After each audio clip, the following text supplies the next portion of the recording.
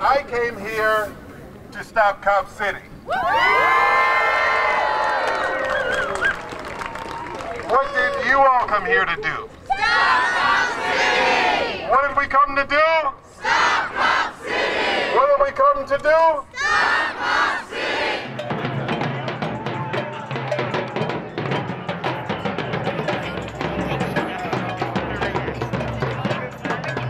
See, after killed Rayshard Brooks at that Wendy's, and our comrades burned that Wendy's to the ground.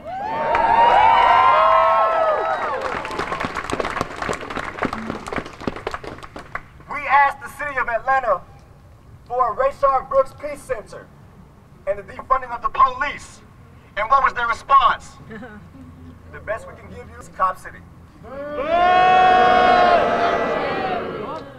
When we asked the city of Atlanta to at least listen to communities and understand that 70% of those who were allowed to give public comment said that Cop City was only going to further hinder our communities.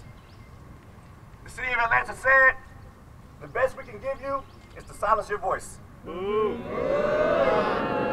we asked the city of Atlanta to at least allow us to peacefully demonstrate, allow our comrades to go live in the trees, protect our forests, best that the city of we can give you is murder, repression, Shame. mass arrests, domestic terrorism charges. Fuck 12. Fuck 12. So when the city of Atlanta asks us to adhere to some concept of law and order, we need to tell them that the best that we can give them is rebellion.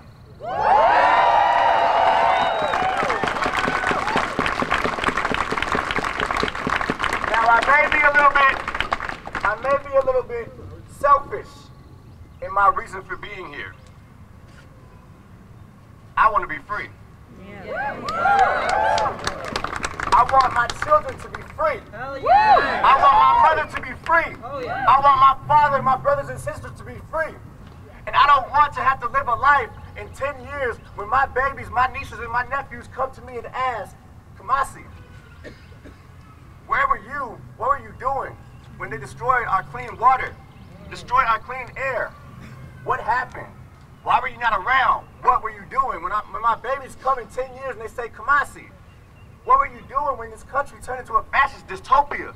What were you doing? Where were you when you were around? I can't sit here back, sit back and say, I just sat home and watched this whole world burn to hell. That's right. I don't believe in the power. I don't believe in the power of the imperialists. I believe in the power of the people.